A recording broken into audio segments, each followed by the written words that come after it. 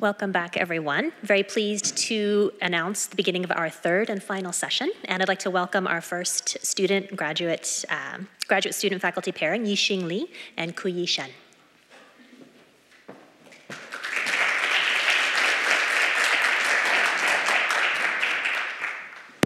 Oh, first of all, thanks uh, uh, the Getty Research Institute, especially uh, Rebecca and Chelsea, and also gave us a good chance to uh, see the, our graduate students' achievement and also a good gathering here. Uh, now I introduce my uh, student, uh, Yiqing Li. Yiqing Li is the third year PhD student at the UCSD.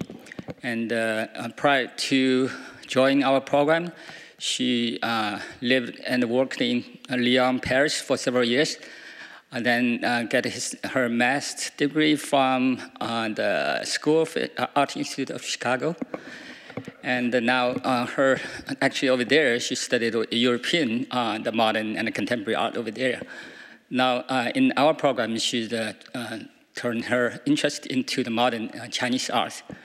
And uh, she's in the stage of the very early kind of the uh, stage forming her dissertation topic on the modern Chinese painting uh, in the 1920s and 1930s. So this uh, presentation actually is a part of the, her research project. Okay, now uh, let's welcome Yiqing.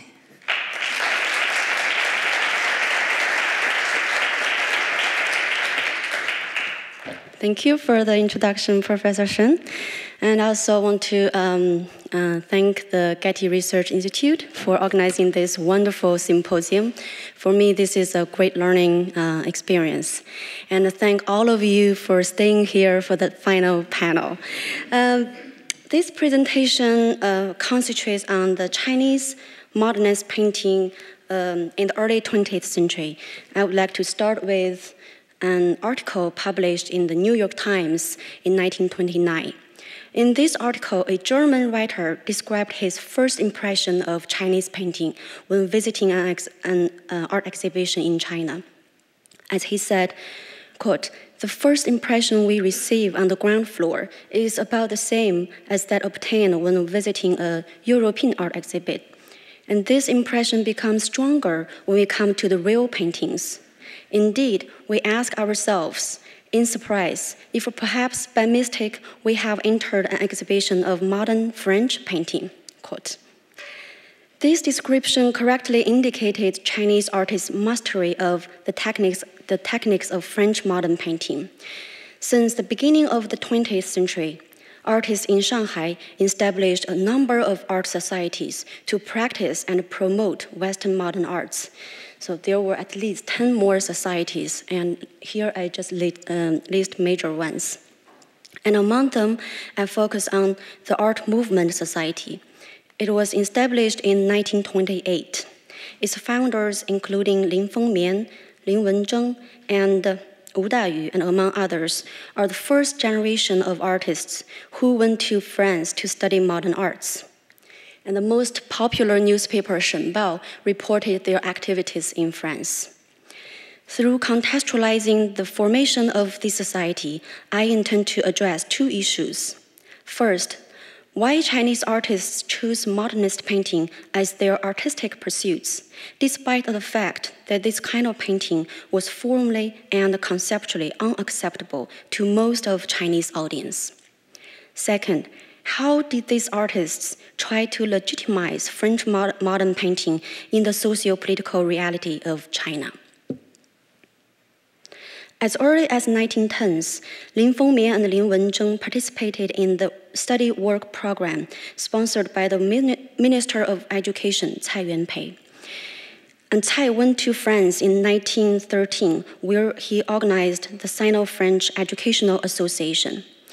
The study work programs supported Chinese artists to study in France with aims of, quote, expanding citizens' education, importing world culture, developing Confucian uh, philosophy, and advancing national economy, quote. In the same period, the new cultural movement advocated for learning Western science and democracy as a way of liberating China from the old feudalist society. And the 1919 May 4th movement reinforced people's awareness of national crisis and pushed forward movements of anti feudalism and anti imperialism. In Shanghai, the number of student participants in the May 4th movement increased from 3,000 on May 6th to 20,000 on May 26th in 1919. And in the field of art, in 1917, Cai Yuanpei delivered a speech of replacing religion with aesthetic education. He defined the role of art in society as he explained, quote, Art can cultivate people's sentiments of sympathy, elicit their pursuits for truth and beauty, and harmonized interpersonal relationship. Quote. In 1919, the journal New Youth published Chen Duxiu's essay, Art Revolution, in which Chen criticized the conventional method of studying painting that is based on imitating the old master's works. These waves of movements in politics, culture, and art affected the young generation of artists to criticize traditional culture and to engage the art in the reformation of society. For example, one of members, Wu Dayu, he worked in the Shenbao, the newspaper Shenbao, before his departure for France. And uh, he created a number of cartoon pictures that reflect his new thoughts that corresponds to the social movements. For example, in this um, picture, the train is a symbol of new culture, and these two figures wearing the old costume were uh, are symbols of old culture, which was um, described as Chinese uh, in Chinese character as obstacles of social progression. And this train is is coming over and is about to crash down the old culture. And the high waves of uh, uh, refer to the three major political movements in China. The first one is 100 re reform, and the second is revolution of 1911, and the, sum, uh, the summit of the waves are the May fourth movement in 1919.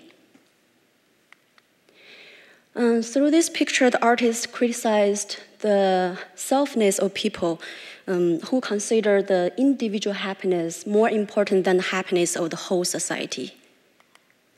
As we can see from this one, the young man with sportswear using the scientific method here to defeat to defeat the old culture embodied in the in the old costume. And this is very interesting. The artist placed the, the art above the economy and, edu- and education, trying to improve the social status of art. It is against this backdrop that these young artists were motivated to study art in group. As this artist Wu said, inspired by the new cultural movement, I decided to go to Europe and learn, and learn Western art experience. Quote. In France, they studied techniques of painting at École des Beaux-Arts in Paris. This is group portrait of these artists and their faculties at the school. But they did not limit their studies to academic painting. As Lin Fengmian recalled, they often visited the exhibitions at private galleries and museums, where they became familiar with paintings of Picasso, Matisse, and other modern artists.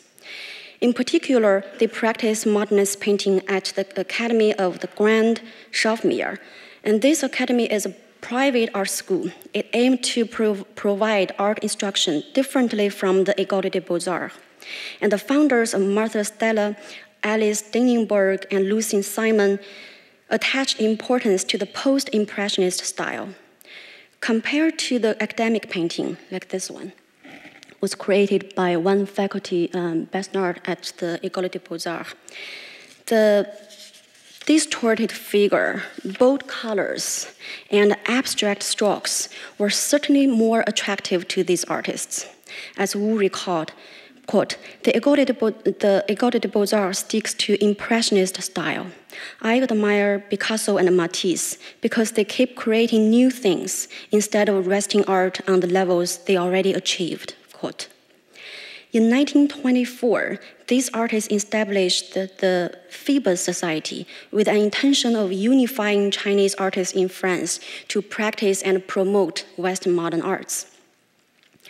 It should be noted that Their desire for the newest styles of painting also came from a sentiment of anxiety. It is a mixed feeling of a fear that Chinese art would lag behind the Western art, and an eagerness to reposition China in the map of world culture. This can be seen in the Phoebus Society's manifesto, quote, concentrating on creating Western art through earnest studies in studios and make best efforts on the China-West communication, quote. For this nationalist interest, this society organized the Chinese art exhibition in 1924 at the Palais du uh, Rhin of Strasbourg. It was the first exhibition showing China's most advanced artworks in the West Europe. This exhibition includes Lin Fengmian's 14 oil paintings and 28 color ink paintings, and a number of oil paintings and sculptures by other members. Unfortunately, all of these works were destroyed in the wartime, so um, we can't see today.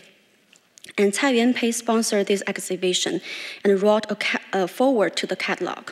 Quote, the great talents exhibited here are not mere imitators of the Europeans. They are capable of producing works with a purely Chinese style as well as experimental works that integrate European and Chinese stylistic elements. Quote. One year after, this group cooperated with the Artwork Society of China to organize Chinese exhibition for the 1925 Paris International Exhibition of Modern Decorative and Industrial Life. So this is the posters of Chinese gallery and exhibition. And Lin Fengmian wrote catalogs to this show, and Lin Wenzheng and Liu Jipiao managed, managed the construction of the Chinese gallery, and Wu Dayu arranged specific works for this exhibition. Under the support of Cai Yuanpei, Lin, Lin Fengmian came back to China in 1926. And in 1928, Cai Yuanpei invited him to be the first president of Hangzhou National Art Academy. These academies aimed to, quote, introducing West art, reforming Chinese art, reconciling Chinese and Western art, and creating contemporary Chinese art. Quote, by 1928, the major members of the Phoebus group in Paris came back to Shanghai and became the key faculty members of this academy. Lin Fengmian is the president of this uh, Hangzhou National Art Academy, and Lin Wenzheng is the dean. Wu Dayu is the director of Western Painting Department.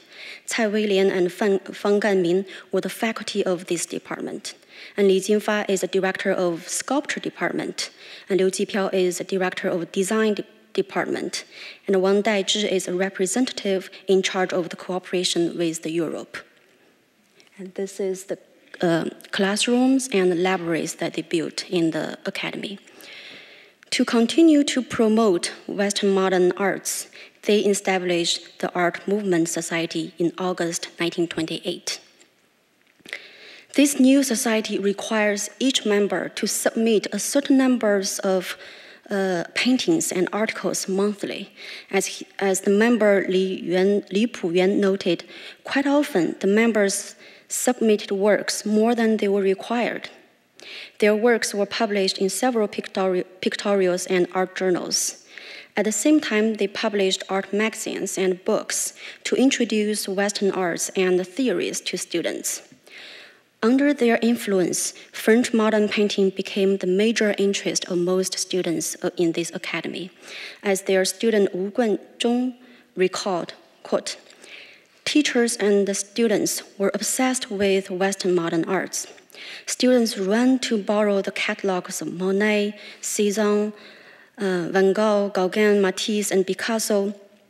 These artists were unknown to most Chinese people, yet they found their home in the Ivory Tower by the West Lake, and West Lake is the location of this academy. However, underneath this blooming surface, it lies some obstacles that thwart the, de the development of this society. First, the feudalist ideology still persistent in China. For example, after a 10 year debate on the issue of using nude model, nude painting was still hardly accepted. By 1927, Beijing National Art Academy's nude painting were condemned as a threat of social morality. Second, the, the public audience did not appreciate arts. As Lin Fengmian observed, quote, artists cannot create art for the sake of art because we don't have the freedom to express ourselves. Nor can we create art for the sake of people's life because Chinese people is not interested in art at all. Quote. Third, Japanese invasions aggravated the national crisis. The 1937 Sino-Japanese War eventually interrupted all activities of art. If this group experimented with modernist painting freely and peacefully in Paris, then in 1930s China, they need to reconsider the role of mod modernist painting in Chinese context. To respond to this uh, dilemma, they insisted on the freedom of artistic creation. In the book, What is Art? Lin Wenzheng used Charles Baudelaire and Friedrich Schiller's theories to justify the autonomy of art. Lin Fengmian argued against Leo Tolstoy's idea that the, art, the value of art should be judged by the criteria of how many people it can attract. Lin Fengmian claimed that, quote, the concept of beauty should reflect the in distinct individuality, quote. On the other hand, however, these artists practice art with uh, very strong social responsibilities and emphasized educational value of artworks. In 1926, Lin Fengmian delivered a speech to artists in Beijing, saying that, quote, the reason why Chinese people are not interested in art is because we don't create innovative works. Quote, and innovative works should, as he continued, quote, express artists' emotions and communicate human sentiments, spiritual pleasure, and consolations. Quote. He tried to reform Chinese art through the modernist painting because, in this society's eyes, the traditional art quote, only serve for reinforce the old feudalist values, teach people to be loyal to the emperor, to obey the authority, and repress human natural desire. Quote. In this sense, to express the individualist, the individual sentiments through modernist painting is to shoulder the responsibility of educating the public whose sentiments were repressed by the society. And Wu Dayu shared the same idea as he said, quote, Picasso's Guernica is a pure reflection of the artist's personal sentiments, but at the same time, it affects the Spanish society, quote. In this way, they reconcile the utopian idea for, of art for art's sake and the utilitarian idea of art for society's sake. However, in the 1930s, China, most people lived poorly and threatened by, by Japanese invasions. Moreover, the deep seated tradition of morality dominate, dominated people's appreciation of art. In this context, other than a small number of in, intellectuals and liberalist artists, who else could have the time and interest to go to the exhibition and look at the paintings whose forms and colors were foreign to them? The art movement society came to an end with the burst of Sino-Japanese War. Some scholars consider Chinese modernist painting in this period as a passive reaction to the West, assuming that Chinese artists could not fully understand Western modern arts. For example, Michael Sullivan commented, quote, artists tend to call them almost any modern Western movement that they did not understand futurism how could they possibly understand Western modernism? Quote.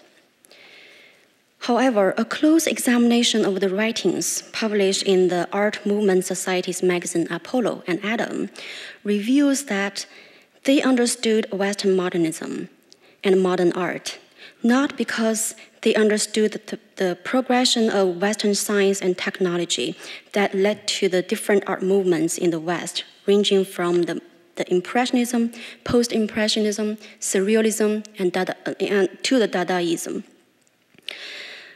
But also because they were conscious of the relationship between the modern art and the bourgeois society. For example, in the 20th century, uh, uh, uh, sorry, in the 20th issue, Apollo published an article criticizing the Western art for being reduced to the commodities of capitalist society. So they have this kind of critical thinking of the Western modern art and the bourgeois society. Also, some scholars consider their works as kind of formalism. As Gao Meiqun said, quote, many Chinese artists recognize the expressive power in color and line of modern European schools Inevitably, many fell into the pitfall of formalism by pursuing the nuances of colors and lines, just as their predecessors had played with ink and brush.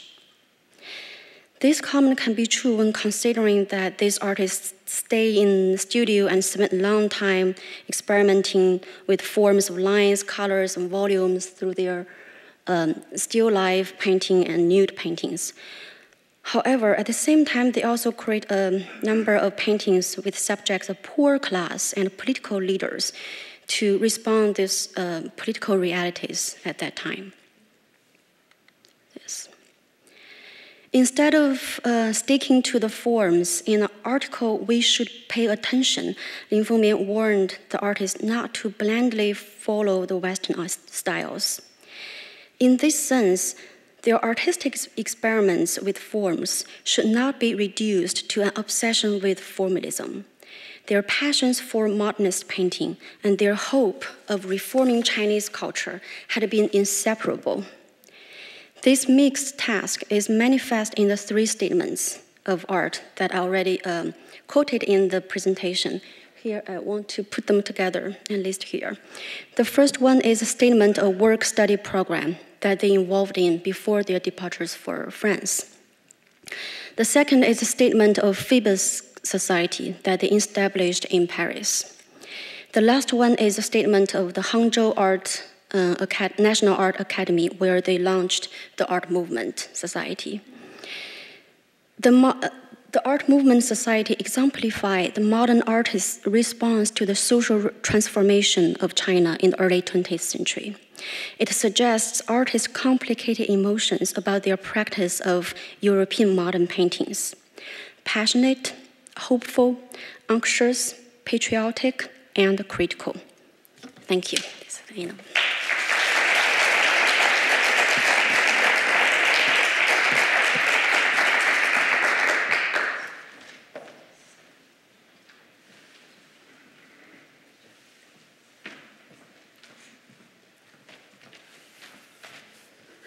Hello, everybody. My name is Maria Evangelatou. I am Associate Professor of Mediterranean Studies at the History of Art and Visual Culture Department, UC Santa Cruz. And I am delighted today to present to you LuLing Osofsky, who is a third year student in our Visual Studies PhD program. As a Byzantinist, I don't have the good fortune of being LuLing's advisor because her topics focus on uh, modern and contemporary material. So I am substituting her primary advisor, Kyle Parry, who is on leave. But um, as a former director of graduate studies in our program, I have worked with her closely, and I am really proud that she is our representative, our progress representative today. I would like to join everybody else in thanking the Getty for this great opportunity that our students have to present their work and get very valuable feedback. Um, LuLing got her BA in American Studies from Wesleyan and her MFA in Creative Writing from the University of Wyoming. In our program, she works with Kyle Parry on documentation and representation of disasters, and with Jennifer Gonzalez on memory and memorialization in public institutions. Her research addresses questions of landscape, trauma, and collective memory. Her dissertation will be a combination of creative writing and scholarly discourse, and will be a speculative memorialization of barren landscapes and sublime objects, from melting glaciers to quarantine seeds from the Arctic to China. So, a very wide range of intellectual interests that also characterizes LuLing's other research activities. She has ongoing research projects concerning Jewish boxers in Auschwitz and atomic tourism in New Mexico. She has presented her work in numerous conferences and is a recipient of a number of fellowships, including the Freeman Foundation Fellowship for East Asian Studies, a fellowship from the Indonesian Ministry of Culture, and numerous artist residencies in the US. Today, she will present Classical Landscapes, Contemporary Ruins, political reclamation in Zhang Kechun's drinking tea by the river. Let me add that this project uh, LuLing developed entirely without guidance from her Americanist advisors, so she's really eager to receive feedback and input. And again, that's a perfect example of how this conference is very valuable to our students. So please welcome me in, uh, join me in welcoming LuLing. Thank you.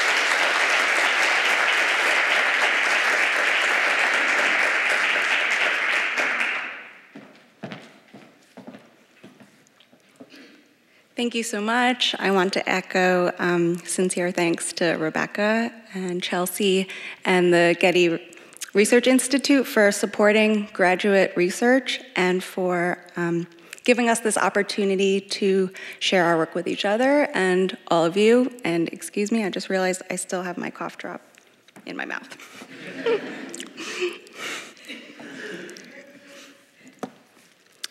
From 2009 to 2013, Zhang Kechun, a photographer from Chengdu, China, rode a fold up bicycle along the banks of the Yellow River. He was 29 years old when he set out and documented his journey with a large format camera, often overexposing his shots. As a result, many of the 40 images comprising his Yellow River series are suffused with a bleached out ethereality. Alongside the river, oft considered the cradle of Chinese civilization, Zhang finds scenes that are derelict, frequently in turns whimsical, lonely, and dwarfing.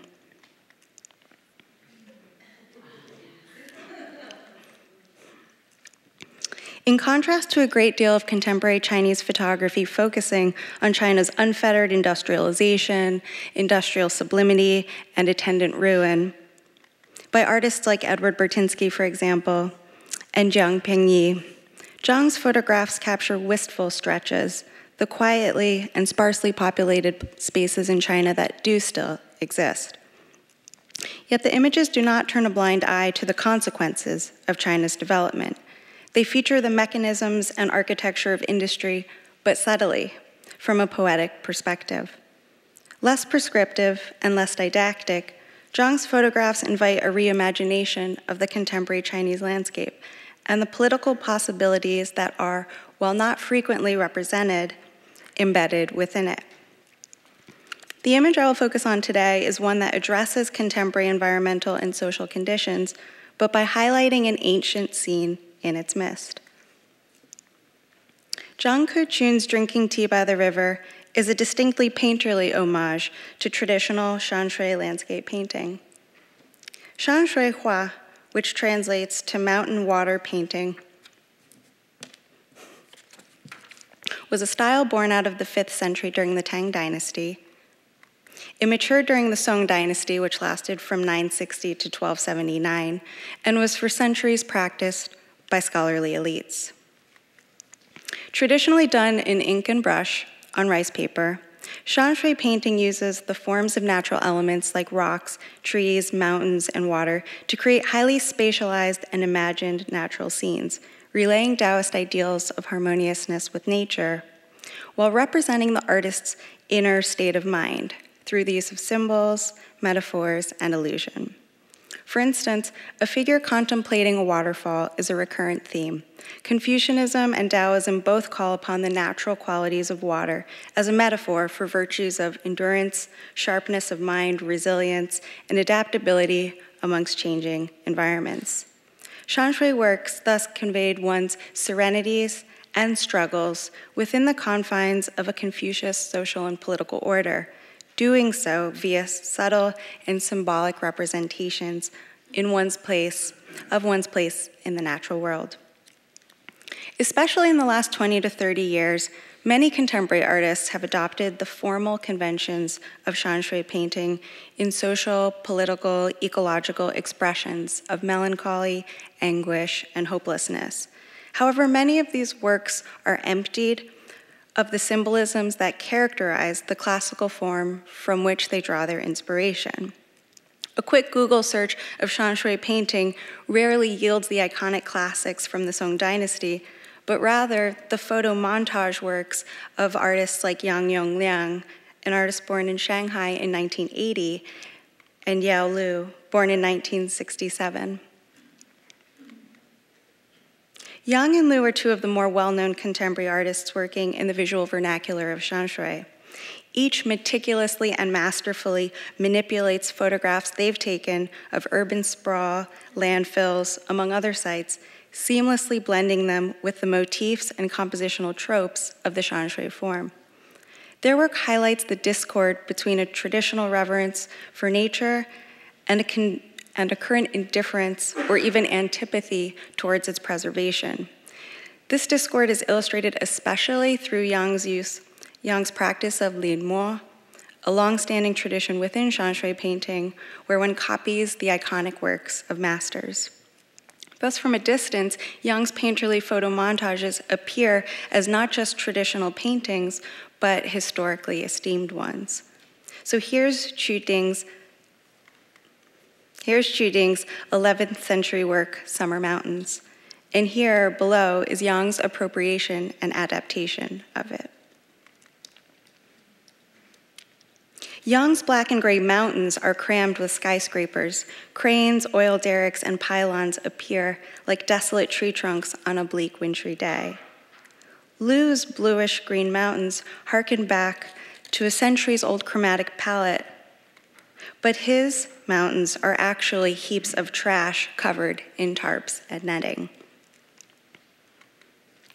These depictions compel a viewer with an aesthetic familiarity with the Shanshui form, but upon closer examination, we are unsettled to discover contemporary worlds with no sign of life, uninhabitable places that perhaps have already devolved beyond redemption. I consider Zhang Kechun's photograph, Drinking Tea by the River, as one that resists the trend of using Shanshui form to aestheticize scenes of dystopia. Instead, his use of this centuries old form enables a portrayal and path to a more radical future. By not foregrounding environmental devastation, though still gesturing towards the environmental effects via smog and skyscrapers in ruin, Zhang's image draws attention to questions of public space, and public discourse. His photograph, in part by intimating the Shanshui form instead of overtly employing it, suggests the political potential of Shanshui works beyond a commentary on environmental devastation. It complicates dystopian portrayals of China's physical environment by drawing the viewer's attention to political possibilities that exist within the photograph's frame. In the photograph, a large freestanding concrete arch dominates the left hand side of the image, it's a remain of a former freeway support beam. Closer to the riverbank, two sides of another former arch look like short, sloping mounds, reminiscent of gentle mountains in Shanshui paintings that recede into the distance. Each of these large concrete ruins has long vertical streaks running down its facade, emulating cascading waterfalls. In the image's background, stretching across the horizontal plane of the opposite riverbank, a series of skyscrapers stands shoulder to shoulder. The gray haze, too, feels reminiscent, evoking a diaphanous mist, though it is almost undoubtedly smog. An interesting tension arises in the image's composition. While the massive concrete arch dominates the left hand side of the photo, the right hand side features life, however tiny in comparison. Three figures sit at wooden tables while one stands over what looks like an improvised cooking stove. The four wooden tables are all identical, with the intimation of a fifth cropped out of the frame. Wooden chairs, like the tables, are the fold up kind, easily and quickly transportable. This looks like a tea stall that's set up and taken down on a daily basis, and if need be, at the drop of a hat. It's a makeshift operation, an enterprising individual has set up shop nestled between ruins. Whereas works like Yang and Lu's portray the melancholy of ravaged and deserted landscapes where human life is no longer safe or viable, Zhang's image animates and complicates a scene of abandon since it is actually not at all abandoned. Rather, it's been collectively reclaimed and resuscitated, however modestly. Despite its situatedness among ruins, the photograph does not feel melancholic or resigned. Political theorist Pierangelo Schiera describes melancholia as the lack of a capacity to engage in politics. Thus, I read Zhang's photograph as potentially hopeful. The presence of this makeshift tea stall and its tea drinkers signals a potential stage for political discourse. It does so in the Taoist literati tradition of using subtlety, painting and interpreting these works through a lens of allusion and indirection. Zhang himself points us to the tea drinkers given the photograph's title, Drinking Tea by the River. It's the tea drinkers that make the image legible as more than or other than a lamentation of life among urban proliferation and its ruins. It's also a suggestion or contribution towards a new way of conceiving public space and reclaiming it. The photograph invites us to peer beyond the derelict terrain and its attendant forlornness exuded at first glance. It invites us to identify suggestibility in the image and pry it open, and there we can see an articulation of a newly activated political possibility. And while very nascent, these few men having tea here alludes to a classic Chinese pastime, visiting the tea house. And given its role, historic role as an informal yet prominent site of civic debate, Zhang points us towards a tea stall with the German with the germinal intimations of a political arena. The vacant tables and chairs allow us to imagine the additional voices and players that can add to this emerging scene. There is room and invitation for more participants in evolving, rotating, and dynamic arrangement and rearrangement of the social possibilities inherent in even this small tea stall operation. The tea house is a distinctly culturally and historically vibrant, contentious, and influential political sphere particularly during the early to mid 20th century, and especially in Sichuan province from where Zhang hails originally. Tea houses were the most popular public places frequented by both commoners and elites. Heated discussions were standard fare. The tea house was a setting where locals across party and class divisions came daily to debate current social and political issues and reforms, and for hours. There was even the birth of a new figure, the tea house politician, outspoken patrons who used the tea house as a stage to hold court and influence local politics. In her memoir published in 1911, writer Han Suyin described the political climate of her home city. Chengdu was uneasy, irritable, anxious, the tea house in the public gardens and on the streets exuding this unease. Tea houses were no longer places for idle chit chat, but full of political debates and activities. The call, I buy tea, was now practically a clarion call for an immediate drift of diverse loiterers, small groups coalescing into larger ones, some standing to listen as debates went on concerning the nationalization question and the railway loan, and silently they would drift apart again, then on to another tea house to hear another man expound. Wen Yiduo, a popular leftist writer and university professor, penned in the 1920s a widely beloved song, Cha Guan Xiao Diao, a canzonet of the tea house. After the dissolution of the Qing dynasty in 1912, which ended over 2,000 years of imperial rule, political jockeying and cultural reforms characterized the next two decades. The lyrics of the canzonet illustrate the role that tea houses played and the pressures facing both owners and customers at a time when the government, as it continues to do, tried to suppress free speech by targeting the places where people gathered to speak openly and passionately about political issues. The lyrics speak for themselves. The night breeze is blowing dry air, and the tea house is full of patrons thronging upstairs and downstairs where the waiter is calling out and bringing boiled water. Bowls and plates are junging while fried melon seeds are crackling. Some customers are chatting and some are arguing. Some are discussing national affairs and some are airing their complaints. The tea house keeper is so afraid that he comes to ask in a low voice, Sir, please, out of concern for my business, never discuss your opinions about politics or national affairs. It is difficult not to complain, but you and I will suffer if your conversation causes a problem. You may lose your job, and my tea house may be shut down, but losing your job is not the worst. You might be put in jail. What you should talk about is the weather, and then go home and sleep well after drinking tea here. Ha ha, everybody is laughing. The tea house owner is talking nonsense because we have had too much sleep. More sleep makes us stupid and more frustrated. Instead, let's talk without taboos. Get rid of the bastards who oppress us, exploit us, and don't let us speak freely. So, while the few tables in Zhang's photograph comprise a tea stall that may in no way rival the tenor or intensity of such aforementioned tea houses, the image can be read as a nod to the legacy of the tea house as a place for people of all class standings and political affiliations to gather and debate.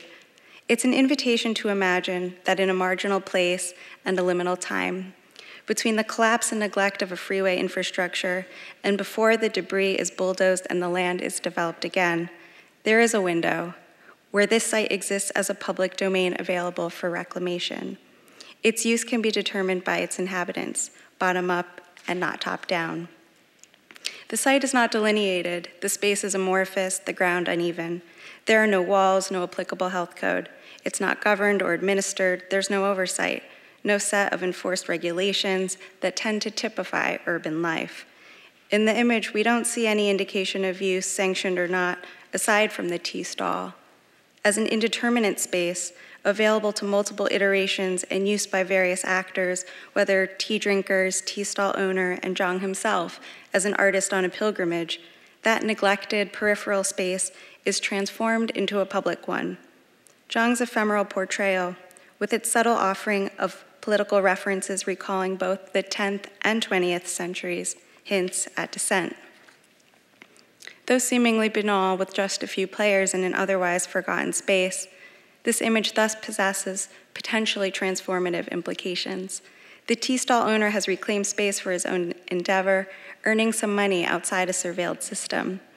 Through the simple act of creating a place for people to sit and drink tea, he and his customers have breathed life into what might be considered otherwise a wasteland.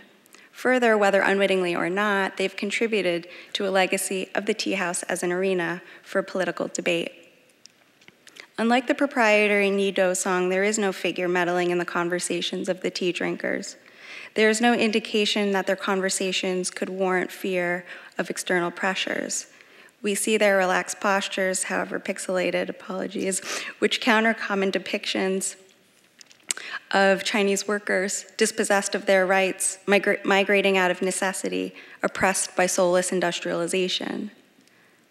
So while the prominence of ruin initially dominates the scene, therein lies a transformative tension in which the presence of the figures converts ruin into destination. A different vision of China is called forth, one rooted in historical reverence, yet prime for contemporary suggestion. Through Zhang's lens, a site of demolition subverts an anticipation of melancholy and is instead recompensed and recomposed. In an environment fraught with inequality and destruction, where can one find quiet, a place to speak freely without restraint? However modestly or momentarily, how can one disentangle from the overpowering structures of capitalist growth and the choking smog of state sanctioned suppression? Zhang's photograph offers a potential answer by inviting us to drink tea by the river. Thank you.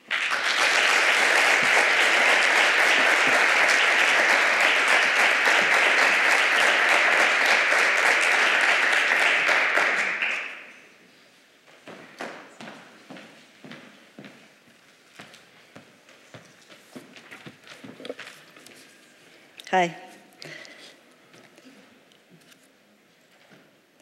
I'm Susan Laxton, Associate Professor of Modernism and the History of Photography at University of California, Riverside. I'm here today in my capacity as graduate advisor since Camilla Querin's dissertation advisor, Aleca Le Blanc, is on research leave in Brazil. So Camilla's not my advisee, but I wish she were. She advanced to candidacy last fall with a proposed dissertation, Dialectics of Malandragem, when arts transform the outcast into a hero, which argues for the Afro Brazilian concept of malandragem, or trickery, as central to the politics of representation during Brazil's military dictatorship, 1964 to 1985. The project is distinctive for its unprecedented treatment of the complexity of advanced art in Brazil during the authoritarian regime, when it necessarily walked a tightrope between affirmation and criticality.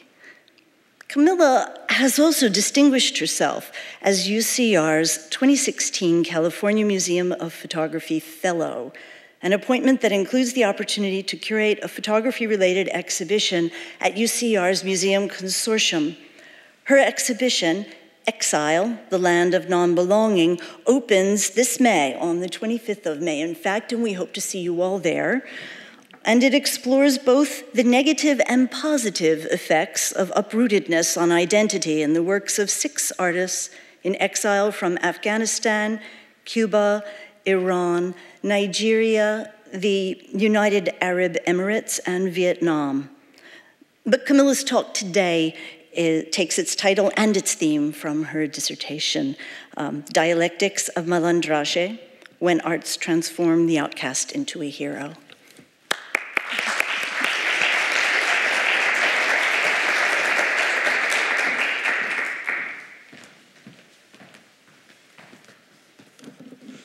Thank you, Susan, for the introduction. I also would like to thank Rebecca and Chelsea and anybody involved in the organization of this fantastic symposium. Um, now I have the daunting task of being the last uh, presenting after such um, excellent presentations and very rich um, discussions. So I thought I would start with a very um, powerful work. In 1970, one of the most innovative and eclectic artists of the 20th century, Cildo Meireles, took 10 live chickens and tied them to a pole thrust into the ground. He poured gasoline on them and set them on fire, burning them alive. The audience were shocked and the police was called. The gruesome animal sacrifice was meant as a metaphor for the brutal torture and death of political prisoners perpetrated by the authoritarian regime um, during Brazil's military dictatorship.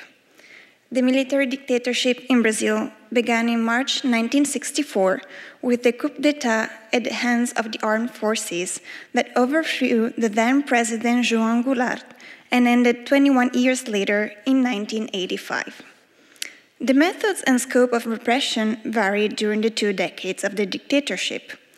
In particular, Institutional Act Number 5, a decree enforced in December 1968, about 50 years ago, uh, was the most severe and repressive measure adopted by a regime that suppressed civil and political rights and used torture as a tool of intimidation.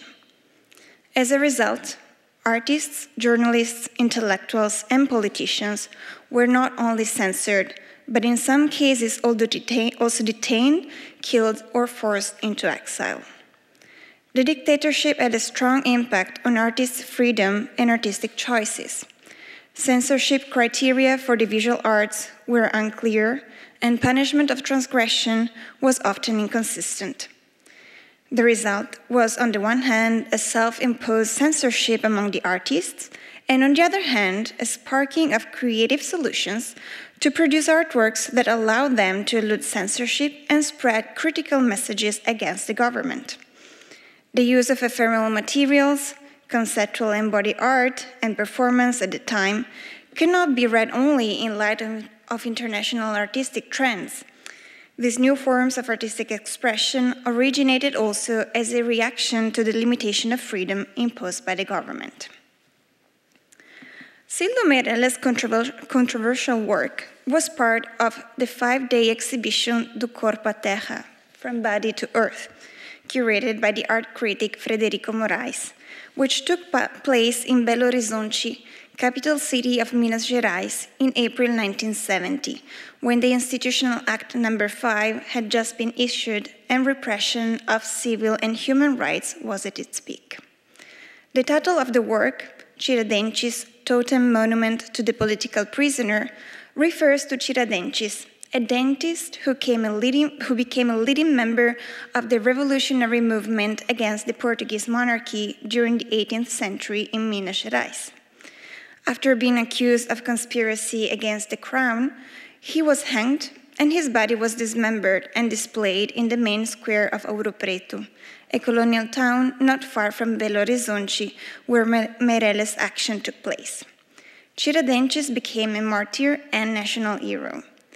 Meireles' work thus drew a parallel between the violence of the punishment of Tiradentes and the torture of political prisoners during the repressive military regime. Scholars have interpreted this and other works produced during the military dictatorship using the metaphor of guerrilla art. This idea was first proposed by Frederico Morais, who in 1970, right before organizing the exhibition From Body to Earth, wrote a seminal essay where he stated, quote, The artist today is a kind of guerrilla agent, as art is a form of ambush, acting unexpectedly where and when he is least expected, the artist creates a permanent state of tension, a constant expectation. Everything can transform into art, even the most common everyday event. The task of the guerrilla artist is to create for the spectator indistinct, uncommon, undefined situations, provoking in him more than aversion or repulsion, but fear. It is only in the face of fear, when all senses are mobilized, that there is initiative, that is, creation. End of quote. According to Morais, thus, the artists operating under the authoritarian regime had to use surprise, act um, abruptly in daily activities, and take a critical position towards the socio-political context. Since then, the analogy with guerrilla has become, become the lens through which art historians have interpreted the strategies adopted by Brazilian artists to resist repression during the dictatorship. With this paper and with my dissertation, I nuanced this interpretation and contend instead that artists who wanted to be critical of the authoritarian regime, including Meireles, looked at the malandro rather than the guerrilla as a source of inspiration. The malandro, which roughly translates as rogue or trickster, is someone who cleverly bends rules and outsmarts social conventions to oppose adversities. In this presentation, I will first define the figure of the malandro. I will then examine a selection of artworks um, to demonstrate that malandragem, trickery, rather than guerrilla is the more accurate key of interpretation for many of the strategies and conceptual practices devised by the artists to circumvent censorship and circulate subversive messages. My work is informed by the fact that the malandro, which anthropologist Roberto DaMatta has described as the emblem of the Brazilian people, has indeed Afro-Brazilian origins. In my analysis of malandragem in the visual arts, I recovered the origin of the malandro by disclosing the numerous references to Afro Brazilian culture in the artworks examined. So, who is the malandro? In his text, Dialectics of Malandragem, literary critic Antonio Candido analyzes the Brazilian figure of the malandro and argues that his malice results from the brutalities and injustices of life. He uses tricks to outwit people in position of power to restore a temporary sense of justice. The malandro has two contradictory images. One is positive and presents him as a well humored character who elicits sympathy, who uses cunning as a weapon for survival against the adversities of life and to obtain advantages often illicit. The other is negative and associates malandragem with the refusal to work, with vagabondage, and the potential criminality. To add to this ambiguity, the malandro is both a fictional and historical figure. Besides turning up in Brazilian folklore and literary classics, De Malandro emerged as a recognizable figure at the beginning of the 20th century in the bohemian and sketchy neighborhood of Lapa in Rio de Janeiro, as a charismatic bon vivant who enjoys bars and cabaret and never turns away from a fight, even, even with the police.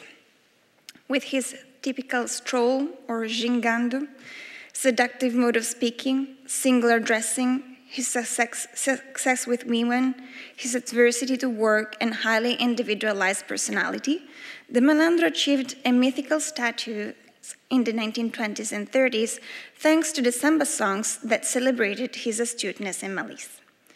After a period of neglect, starting from the 1960s, many artists, poets, and mu musicians, among others, celebrated the figure of the Malandro as a model of survival, success, and social wisdom. While De Malandro has received scholarly attention in music, literature, theater, and anthropology, this figure has not been explored with the deserved emphasis for what regards the visual arts. I will now offer some evidence of the importance of De Malandro for the study of the visual arts and the relevance of understanding malandragem as a strategy of resistance. It is not indeed a coincidence that one of the most celebrated artists magazine published in the 1970s was entitled Malas Artes, the name of a well-known trickster character from um, the Iberian and Brazilian folklore known since the 13th century, Pedro Malas Artes.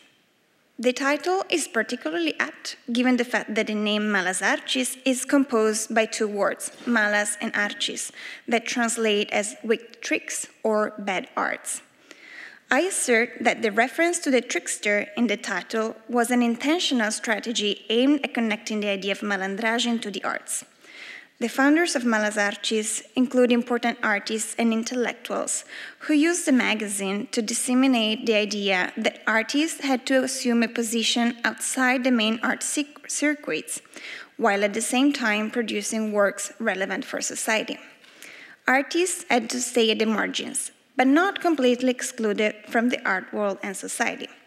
Like the malandro, whose wings between order and disorder, also, the artists needed to maintain one foot inside and the other outside of the conventional art system.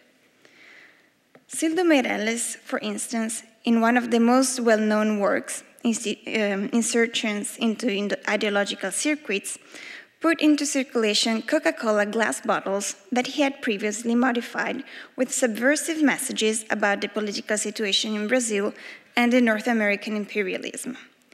He also touched instructions for the recipients to add their critical opinions and send the bottles back into circulation. The messages, printed in white um, silk screen, became visible only when the bottle was filled with the dark liquid. To spread his anonymous messages, Meireles used channels less subject to surveillance than the media and art institutions, and he called for the active participation of the receiver urging them to repeat the process in order to keep the counter-information flowing. Art historians Claudia Calirman and Arthur Freitas, experts on Brazilian art produced during the authoritarian regime, have both interpreted this work as guerrilla art. Drawing from Morais' work, they find an analogy between, between art and guerrilla, stating that artists, like the guerrillas, stung by the urgency of the situation, operated outside the institutions unexpectedly, rapidly, and assuming all the risks of a clandestine action. I challenge these interpretations and contend instead that artists who wanted to be critical of the dictatorship, including Cildo Meireles, used tactics that were more similar to malandragem than guerrilla. And even when using guerrilla tactics, I argue, Artists combine them with tricks and irony to dupe the authorities and the public without them realizing that they had been deceived. For example, also when spreading instructions on how to build a Molotov bomb using Coca-Cola bottles, Cildo Meireles was using malandragem to co-opt Coca-Cola's marketing system in order to disseminate his messages. Thanks to his wicked tricks, his Malas Artes, he was able to exploit the strengths of the powerful capitalist North American company to his own ends. Moreover, contrary to guerrilla artists, um, contrary to guerrilla, artists were not operating outside the art system. Meireles, for example, exhibited his modified Coca Cola bottles in 1970 in MoMA's famous exhibition on conceptual art information organized by Kynaston McShine. Though critical of the art institutions, artists still depended on them for funding and visibility. Thus, they operated at the margins, exactly as the Malandro, who, quoting Roberto DaMatta, lives in the interstices between order and disorder, using both uh, and funding sustenance from those who are inside the normal structured world and those who are not. It is the malleability of the Malandro to pass both as insider and outsider, his agility to bend the rules of the system without breaking from it, that got me interested in studying this figure. The question now is whether it is possible to use malandragem as a key of interpretation also of the most provocative, violent, and shocking works produced in the 1970s in Brazil, such as Tiradentes. My research is supported by a thorough understanding of the figure of the malandro and his origins. Much of the scholarship on the topic, including the writings by Roberto DaMatta and Antonio Candido, does not provide information on the origin of this figure, nor analyzes what are the social conditions that transform a person into a malandro and that concur to perpetuate the social differences against which he fights. It is in the literature on samba music, in particular about the songs that in the 1920s and 1930s celebrated the malandro's cunning, that it is possible to find references to his, his history.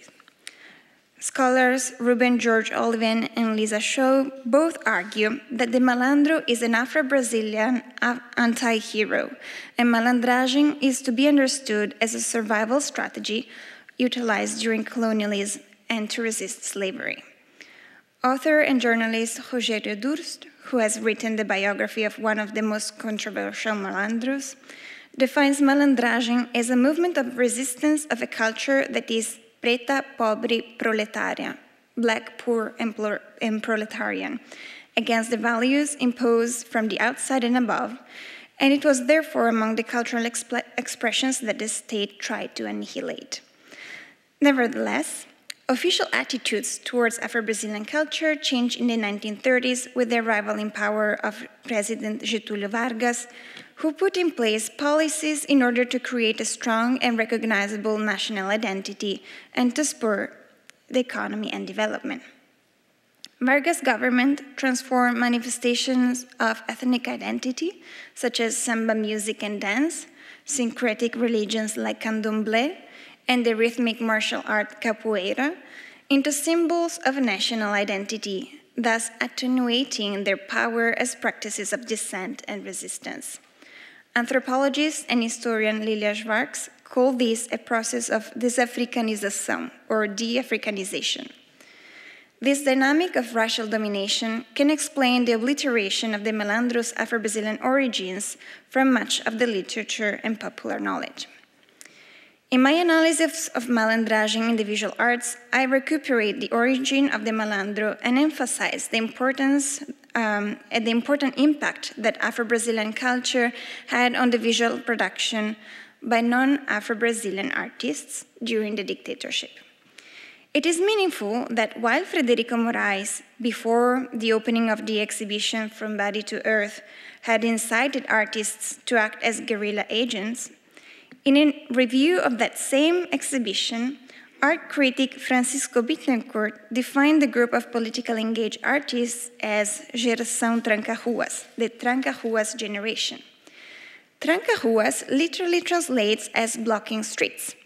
And in fact, on the street, you can see um, a photograph of an urban intervention by artist Paulo Bruscky, who literally blocked a very busy street in the city of Recife using a pink ribbon, um, dis disrupting the traffic as an act of civil, um, civic disobedience. Going back to Tranca-Ruas, Tranca-Ruas is also the appellative given to an Umbanda deity, Exu, often described as a malandro, the guardian of order and disorder. Tranca-Ruas is a spiritual entity with the power to clear or, or block a person's way, determining his or her future. In order to please the spiritual entity, one must leave, leave offerings, usually in the form of sacrificed animals, food, liquor, perfumes, candles. Roberto Conduru, an expert on Afro Brazilian art and culture, has observed the similarity between Meireles' work Tiradentes and the religious sacrifices performed in the Afro Brazilian syncretic religion Umbanda. He claims that the animal sacrifice, unacceptable in itself, would be justifiable in the political context of the so called lead years of the dictatorship in which Meireles operated, as much as it is accepted in Afro Brazilian cults when it is done to create a communion between the gods and the faithful. By observing the similarity of the setting of Tiradentes and the shrine dedicated to Eshu, it becomes clear um, the strong connection between the work of Cildo Meireles and Afro-Brazilian religion and culture becomes clear. And in fact, on the here on the right, you can see the image of a malandro, right? And here you can see the offerings of different birds, and here we have the horns, probably of a goat. To conclude, Therefore, also the most radical works produced in the 1970s that made use of tactics similar to guerrilla did have a profound connection with the malandro and his modus operandi, malandragem. Thank you.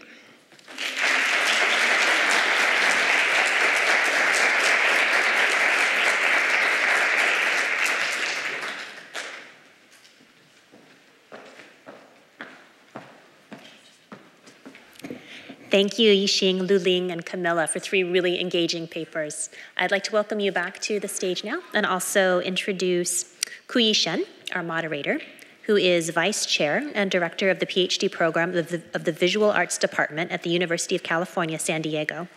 His research focuses on modern and contemporary Chinese art, and among his publications are A Century in Crisis, Arts of Modern China, Light Before Dawn, Liangyou, and Painting Her Way. He is the recipient of fellowships and awards from the NEA, the Social Sciences Research Council, Japan Society for the Promotion of Science, Stanford University, Leiden University, and others. Welcome. Oh, first, I want to thank uh, three, this, uh, three speakers and gave a wonderful paper. It's really learned a lot. And uh, I, I, think the uh, uh, among the three papers, I think kind of one thing maybe can link them together uh, is the relationship between the art and politics. So in the in the um, paper, we can see uh, this uh, group, the very uh, idealistic uh, artists, they study in Europe, uh, and back to China. after the during the period after China overthrew the, the last dynasty and established a new republic, this period, and this artist uh, the, uh, closely work with the government to actually make the kind of uh, very uh, enthusiastically involved uh, the, we should say, the, uh, the collective effort with the government to trying to establish a new the, education and art education system and also the, the introducing the new kind of the Western kind of the uh, art concept and also the art techniques into China. Into China. And uh, we should say that time that these, uh, this, the, the, as Yiqing already pointed out, that we see the this kind of collaborative uh, the effort we think is very important, and also the showing this short period actually the, the appeared later. Uh, we will see uh, it's uh, during uh, because the Sino-Japanese War interrupted so this kind of effort actually uh, basically failed. and uh, uh, after the 1949 is another story. After communists took over China, this we see this kind of entire this process of the modern uh, the, the development of modern art basically stopped not until the 1980s re-emerged. And in the uh, second paper, I think is also very interesting, uh, this uh, paper, and uh, it's uh, bring see the the contemporary Chinese art. Actually, they are the uh, bring the very kind of the uh, it's a kind of glorious kind of catalog, cat, category of the Chinese painting is the shanshui or the landscape. Uh, the, back to the, the contemporary Chinese art, and actually to make the kind of the uh, these kind of the, the themes turn the themes to the, the social critical commentary and deal with the issue of the Chinese contemporary society.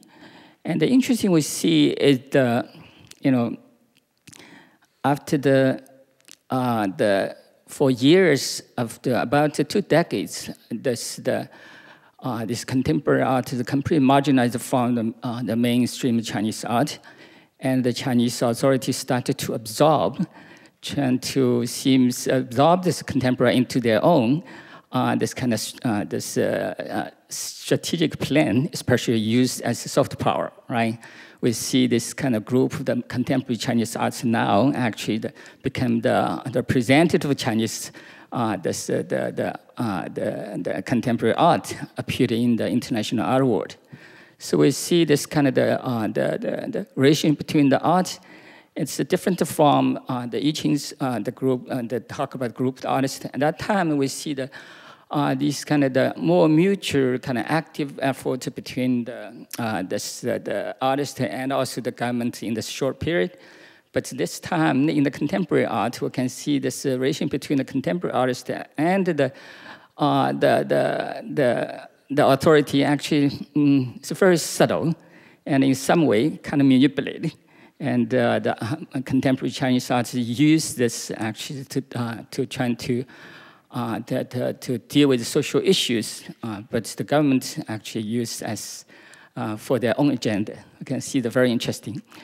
And also for the uh, Camilla's paper, I think it's very interesting. You can tell I'm not the expert of the South American art, and uh, so, uh, the, uh, but I think the, the contrast to the uh, uh, this paper can see uh, that instead of use this kind of the, uh, the, the theme of the, this, the, the shanshui or, or, the symbol of the glorious Chinese art in the ancient art, the classical means back to the contemporary art. I think it's very interesting. We see uh, in this uh, period of the dictatorship, the 20 years of dictatorship in Brazil, Brazil, we see the uh, this group, of the artists, avant-garde artists, actually they use uh, all different way uh, to in different cities to try to uh, transform this uh, this this is the kind of the figure of outlaw to the to become the kind of the hero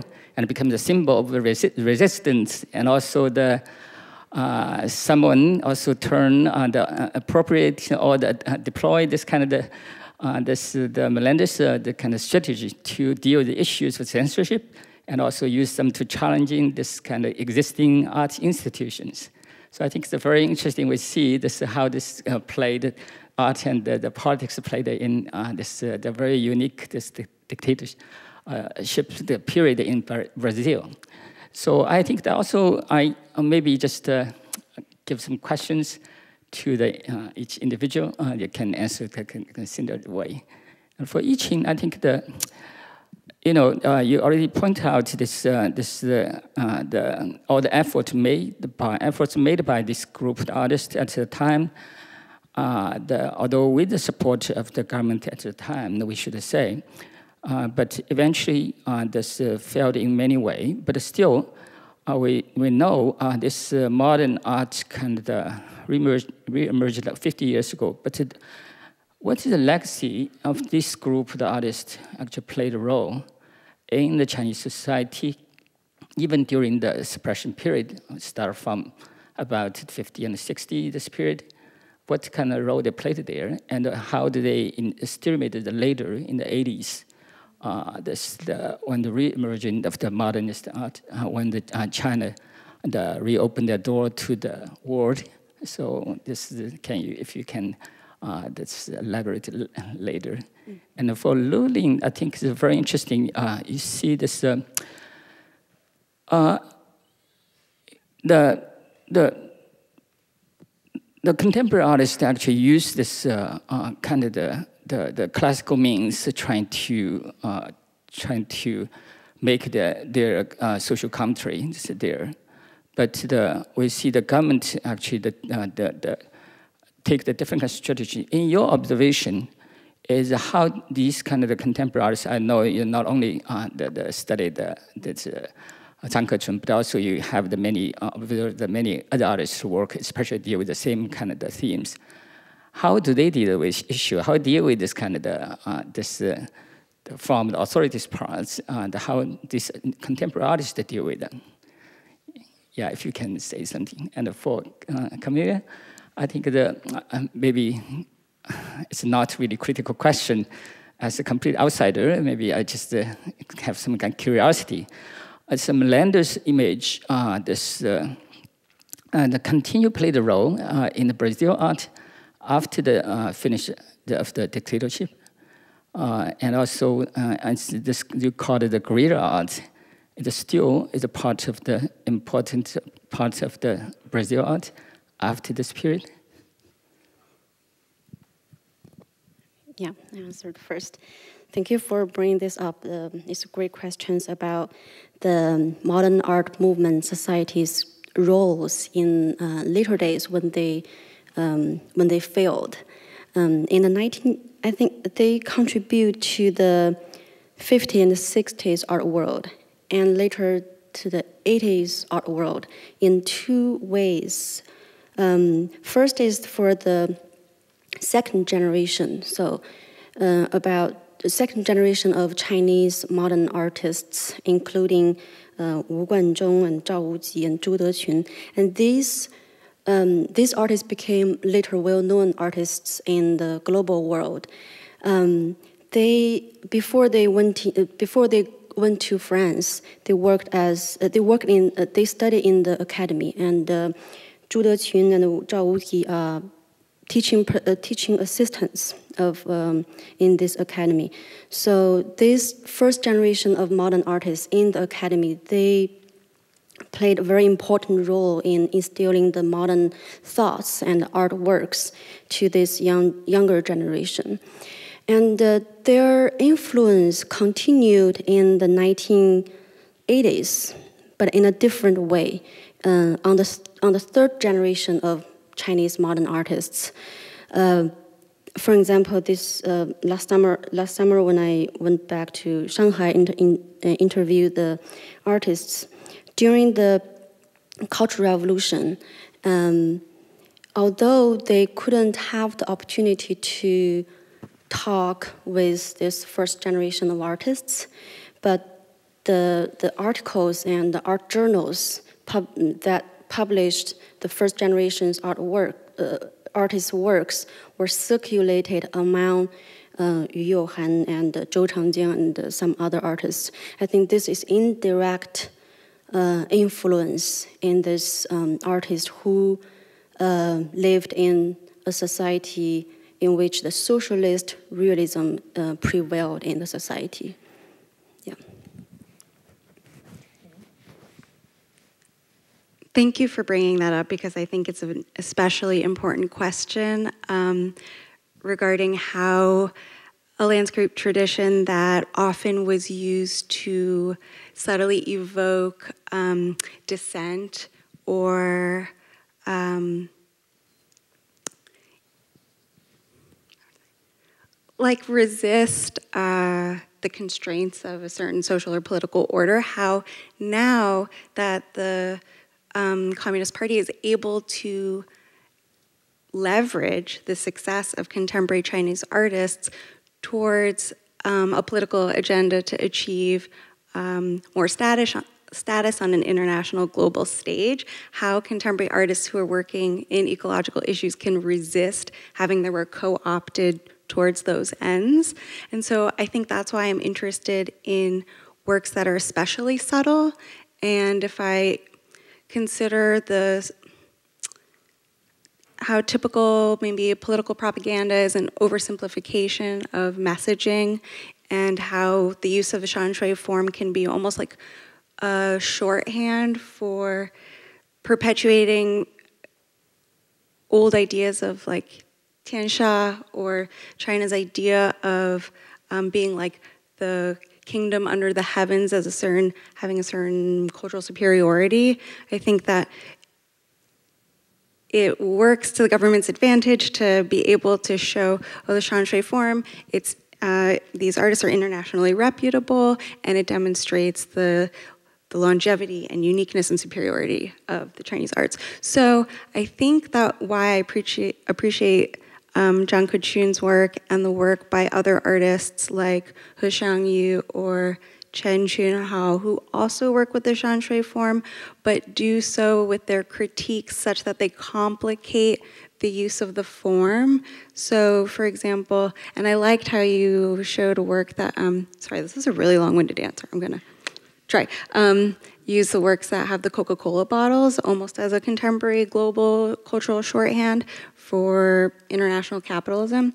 Um, there's a He Xiangyu is an artist who employs a small legion of factory workers to boil down Coca-Cola to create a sludge that then he uses as ink to paint in the style of traditional Chinese landscape painting. So it's a commentary on industry, labor, and he's implicating himself in that, which I think draws attention away from the condemnation, perhaps, of the government um, and the like societal degradation that has resulted from um, the last like several decades of political reform or economic reforms. And then there's another artist, Chen Chun uh, who also he uses like tens of thousands of nails that he hammers into emulate copy uh, icon Song, Song Dynasty classics as well. And so that's also kind of a modern meditation on on labor again and industry. And so I think those artists allow for readings that even if they use a Shanshui form resist a kind of one dimensional critique and maybe have ways of subtly indicting the entire network and matrix of neoliberal capital dissolution in China and the world. Uh. Yeah, thank you. I, I think the, it's reminded me, you know, it's use this essential, or use this landscape and the themes to uh, reach this, uh, this own political agenda. It's not, not new, actually, for the in China. It's not too long ago, the 1930s, that time, actually, nationalist government also uh, used the Shanshui, but they, are, they were very successful at that time, because at that time they tried to uh, encourage kind of traditional Chinese artists to use this uh, uh, the landscape because they consider the, uh, the, the Tang Dynasty or Five Dynasty, the Chinese landscape uh, is the you know the glorious symbol of the golden age uh, in the Chinese art history. So that time, they're also trying to use this to re-establish Chinese their own cultural identity and the image of the state, uh, because this is the time they're trying to in the international world and art world to re-establish their own kind of the, uh, the image of a nation state and also the, uh, the, the, the, identity of Chinese culture. So this, I think. Uh, that time, uh, Shanshui used very successfully um, by the government and also by uh, these artists that send the, uh, the art exhibitions to the Europe, to the, all the other parts of the world, and uh, basically use all the uh, contemporary artists, the artwork mainly uh, their Shanshui, or their landscapes. So I think uh, this time in the uh, in the now, this Chinese government is also trying to me. Maybe they saw this kind of the previous uh, success in the uh, 50 or some years years ago, and they they trying to uh, they, they use this as soft power to do that. I think this uh, mm, maybe yeah can yeah connect to this too. Thank you for your comments. Um, I'm not sure if I understood your question. Is that more about the artists or about the malandro? If it's yeah, both the the role of malandro and also the artists. Right. So um, the artists that are described as the Tranca-Ruas generation, or they have also been described as the generation of the I-5 de Institutional Act number 5, are still active and they're producing amazing work also nowadays. Um, I think still using malandragem as well. Um, in terms, what is interesting is that all these artists are male artists of this particular group. Um, uh, they are considered politically active, um, although Cildo Meireles always refused to call himself a political artist. Um, so it was a group of uh, young male artists, and that's why I think also using the figure of the malandro is particularly apt because the malandro um, has this idea of masculinity and virility linked to it. Um, and in terms of whether the figure of the malandro is relevant to interpret also artworks that were produced after the end of the dictatorship, um, I do believe that artists are using um, malandragem, um, but if before we had maybe known Afro-Brazilian artists using these techniques. I believe now we have very interesting Afro-Brazilian artists, which in my opinion are um, often using malandragem to expose um, the very sharp social inequalities and the very tense uh, ra racial relationships um, that characterize also nowadays Brazilian society. Um, though I did only very preliminary research this summer, so not all of them um, agree with this key interpretation. So this is something that I will develop further. Thank you. Now I think the time open to the, the floor. Any questions?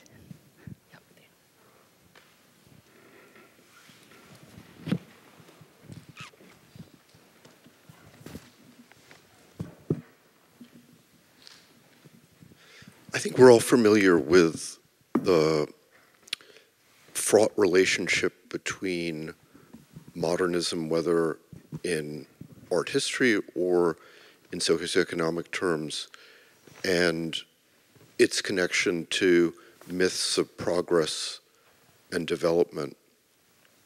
They're, of course, very hard to get away from, and you see this all, you know, recently in all these exhibitions and other things that try to look at the origins of abstraction and which always end up positing that you know you're on the way to something and then uh, that's progress.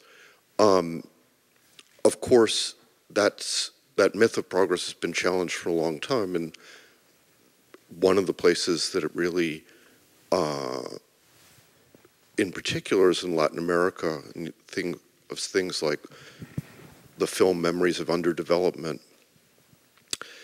and the ecological movement, both of which have been uh, central to questioning progress and development. But they have their own potential drawbacks, which is I think both identifying with an alterity that one doesn't actually embody or a kind of nostalgia or the positing of uh, some pure time in the past, which also seem like uh, myths. And I just wondered, I think hopefully that connects in some way to all three of you. So.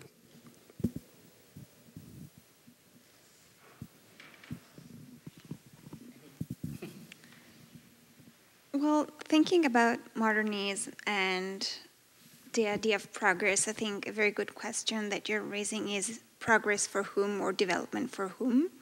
Um, so when a country embarks in large projects of development or modernization, oftentimes there are sectors of society that are excluded. Um, and so we had that drawback that, of course, government try to um, hide, right? They try to emphasize the successes and not talk about um, the um, criticalities. Um, so I think this is something that characterized um, Brazil, especially during the 20s and 30s, when we have um, the emergence of the malandro in the neighborhood of Lapa, when we have um, uh, Getúlio Vargas' government um, that is itself a dictatorial government that is pushing for modernization but that modernization excludes um, the population of African descent. And we have to remember that Brazil is the last country in the Americas to abolish slavery in 1888, so quite recently. Um, and so then there is, as a reaction to these adversities and to, as a reaction to this exclusion, then a person might have to choose to um, use tricks to survive and so become a malandro.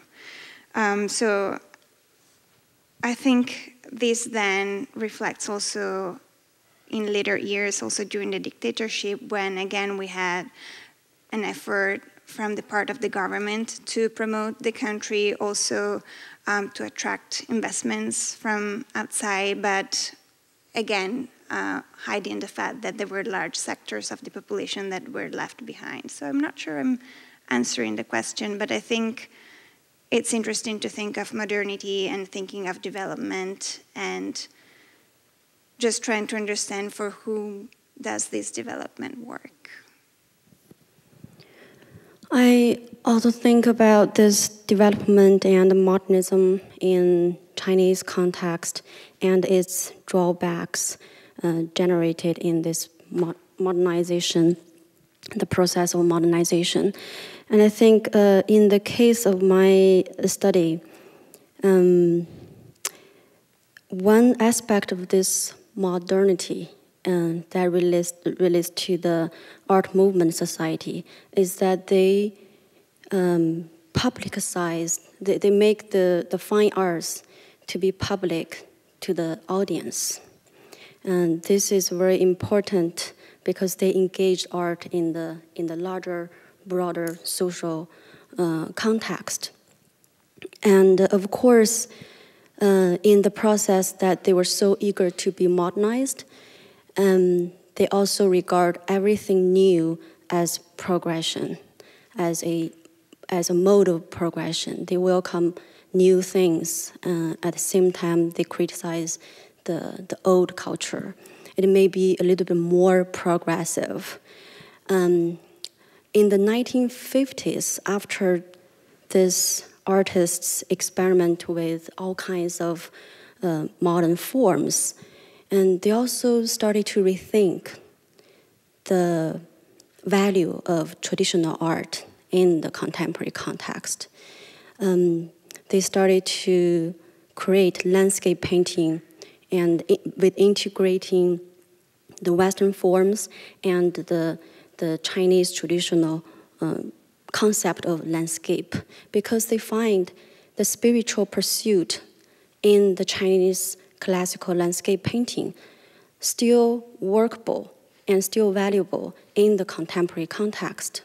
I think that in the back in the back to the 1920s and 1930s, they, they kind of too um, eager to uh, integrate this, uh, these two cultures uh, because um, the, the series of social movements, political, political uh, revolutions that push them to think about new things, new things, new things. And I think after this hot wave, they began to be uh, more cool-minded and respond the, to the um, more classical culture. Yeah. Thank you for bringing up the question of um, modernization, the myths of progress, because I think something that um, I'm interested in in how contemporary uses of classical Chinese landscape painting really draw attention to the multiple registers of time operating simultaneously or time scales and um, and how maybe dystopian representations foreclose the possibility of even imagining future progress that it's already too late though I think it's interesting and important to note that China, I think, is only second to the Netherlands in terms of the work that they're doing to lower carbon emissions and taking the lead on, on a lot of uh, in, environmental initiatives. Um, but I think that this speaks back to our conversation earlier. Um, the very interesting conversation that was happening here earlier about historical memory and when certain historical memories are resuscitated um, and to what end and what purposes they serve. And so, myths of progress, what moments in time are brought back, what moments they glamorize or erase, I think is interesting to try to identify where in an image, even, we can detect how time is the tension of time and then how the relationship between the artist and the government in what periods of time um, are being um, highlighted to demonstrate certain ideological ideas of progress.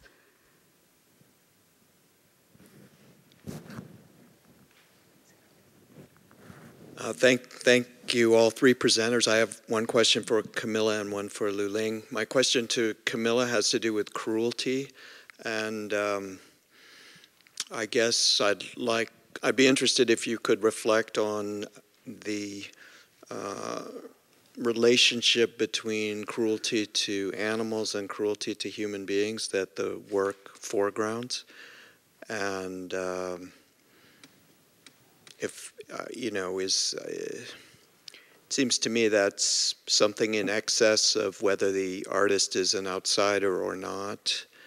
Um, it occurred to me, for example, is this work really about cruelty as an objective phenomenon in the universe that um, transcends political boundaries, etc.? Is it about the self-flagellation, um, the, the masochism really of the, the artist who consents to um, not only do this cruel act, but internalize that cruelty for the rest of his life, as it were, as part of the inscription of a heinous political system on his own psychology. But something along those lines for you to reflect on. And then I'll ask my question of LuLing. So go ahead. Thank you very much for your question. Um, it's interesting because in the 1990s, in an interview with Gerardo Mosquera, a Cuban critic, Cildo Meireles stated that he would never repeat again uh, something like Tiradentes, uh, and that the suffering of the chickens was still part of his psychological memory and that he could not get over that. But that he strongly felt that in the 1970 that was necessary. Do you want to add something? Well, no, that's, that's fascinating. Thank you. I mean, I, I think in your response, there's the there's a double temporality. There's 1970 and then the 90s, and that, of course, makes total sense. I think it's part of the the the the, the fear-inducing power of the work of art that it seems that the artist must know that's going to haunt him for his whole life. Not it's not that's not going to occur to him later. That's going to be something he's going to go to his grave with, and that's part of the um, intensity of, of the piece. I also believe that it speaks of the faith that the artist has in art and yes. the idea that there will be an impact, there will be an awakening. So that sacrifice will not be useless. To, to be able to produce that sacrifice, there must be like there must be this strong faith that something will generate from that. Yeah, that's beautifully said, and um, right, we we could talk about it, but it does strike me as having something in common that piece with the uh, works by like Chris Burden that have to do with an evident um, masochism, like I consent to destroy myself in some way. In the name of the cause I believe will be benefited by what I do to myself as well as to other living things. Uh, my question for LuLing is just to do with fiction. And so, looking at that marvelous photograph, it occurred to me at least that it looks something like, say, a Gregory Crewdson photograph. And so, it looks um, like it's a concoction in a way the, the folding chairs, the sort of like a you know, uh, a pop-up um, tea ceremony, which I say in a complimentary way. I don't know if you, you might know one way or the other whether it is fictional or whether that's an actual tea service that's provided. But my question really is about the relation between fictionality and political change. So I think the power of that photo, and I would love to be corrected by anybody who's familiar. I know a few of you are familiar with Zhang Kechun's work. That my understanding is that it was entirely a documentary project, and so those images were not staged.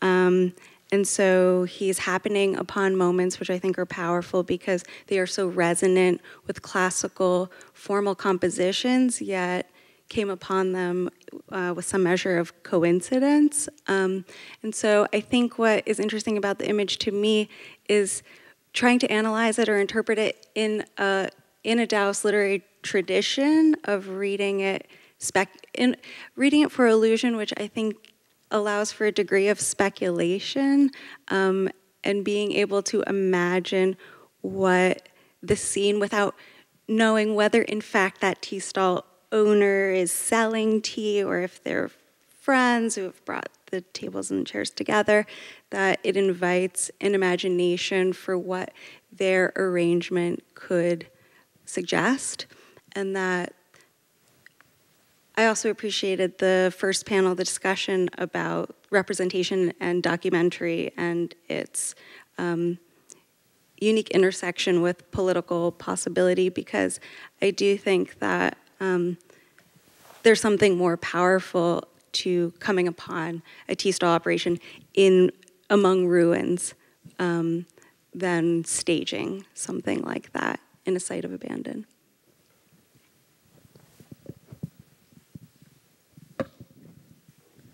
I have three quick questions. Um, LuLing, I have been sitting here racking my brain trying to remember, but I think the name is Bada Shanren. The whole idea that there was a tradition of, or there were, it was not a tradition, but there were traditional painters who had always had embedded in their work a kind of critique of power, works that spoke against power. Do you think that Zhang is that he is this is has been instilled in in his um, mental framework? I am resistant to speculate, but would like to say yes, um, because I think in seeing his works overall, there is a consistent. Um, I think, a very uh, subtle form of dissent that um, that resists resists the strictures that society might place um, on its every like on its ordinary citizens and what that would look like in the public imagination. So I feel like there's almost a kind of dissent to the overall contemporary depictions of um, mainland China and the life of um, ordinary Chinese citizens, as well as a commentary against ab- about the conditions that would make one feel potentially oppressed. So I think so. Thanks. Quick question for um, uh, for Camilla: um, Is there a Malandra as well as a Malandro? This is an excellent question, and I, in my dissertation, I am really willing to find a malandra. So we do, there is a malandra in um, Umbanda, the religion I was mentioning before.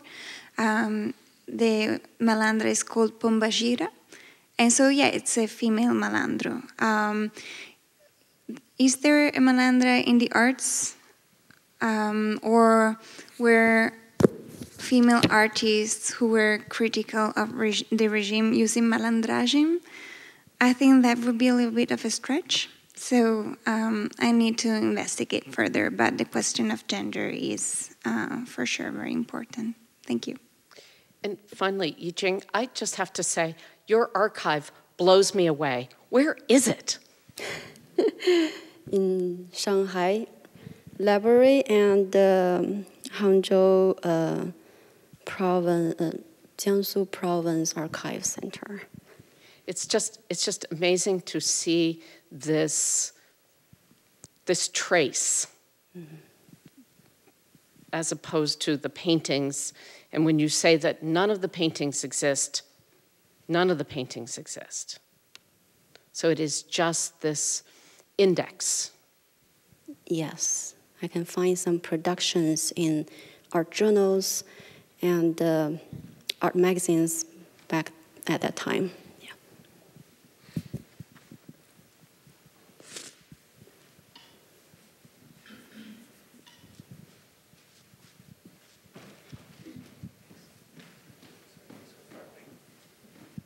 Um, this is a really more of an observation, but I guess also uh, I'd be interested in a response from LuLing about um, that beautiful and so interesting image uh, you showed us. Um, as an architectural historian, it probably isn't surprising that the two things that stuck out to me about it were the way it uses architecture and the way it talks about history. And I was, in particular, I was struck by, it made me think actually of um, Bataille's um, writings about architecture and about architecture as a kind of image of structure and of regimentation. And the ruin on the side of this side of the river, uh, which is like an ironic ruin in a sense, that it evokes an ancient ruin, an aqueduct, a Roman ruin from you know the kind of classical lands of ruins, and yet it's a disused freeway. Um, concrete. You know, it's from the last wave of modernizations pointing towards this current wave of modernizations. And dividing the two is the river, which is like the primordial symbol of history and of time. So without wanting to overdetermine it, this as like this, you know, purely symbolic image or anything. I, and, and I'm not really so necessarily concerned with the intention of the artist or anything. But I mean, I, to what extent do you do you think that those kinds of things are are kind of meaningfully present in the image? Um, um, thank you for that question. I'm really happy to hear that you also found the image to be beautiful because this is um, not the Chinese landscape painting is not um, an area of like my research focus, but I saw this image and I just found it so arresting and it invited so much contemplation. I thought that I just really wanted to dig into it. So I, I really appreciate hearing that it resonated as well. So I think that you made a really interesting observation, important one, that the freeway art, the like the structure ruins of the freeway, kind of they're in opposition to the flow of the river. And I think it's important that Zhang Kechun, he made his his journey alongside the river. He was following the path of um, this 1940s novel, and that traveling with the like the archetypal mother, the the his, the course of hi, um, history, the that that's really significant and symbolic that the the the tea drinkers are drinking tea alongside the river and find refuge between the ruins as opposed to being in the direction. They're not like facing the opposite skyscrapers um, or you don't get the sense that there's like a an enjoyment of the industrial sublimity of the scape, and instead the the ruins kind of work like a makeshift, um, not like necessarily protection, but that I think compositionally it is striking that those ruins that that the freeway, that modernism is broke that was broken um, and that it hasn't been rebuilt. So what, where that direction was going, does it no longer need to go? Um, yeah. I feel like the implication almost is that the tea drinkers are the most permanent thing, and that you know that's that's why the, there's something ironic about the ruins yeah. of the freeway. Right. No, I think that's beautiful because I think being part of a an ancient legacy it's almost like if it's not them, it might be somebody else. And even though there's transience um, with the tables and the ruins, there is the return of an of an ancient yeah activity. So thank you. That's yeah.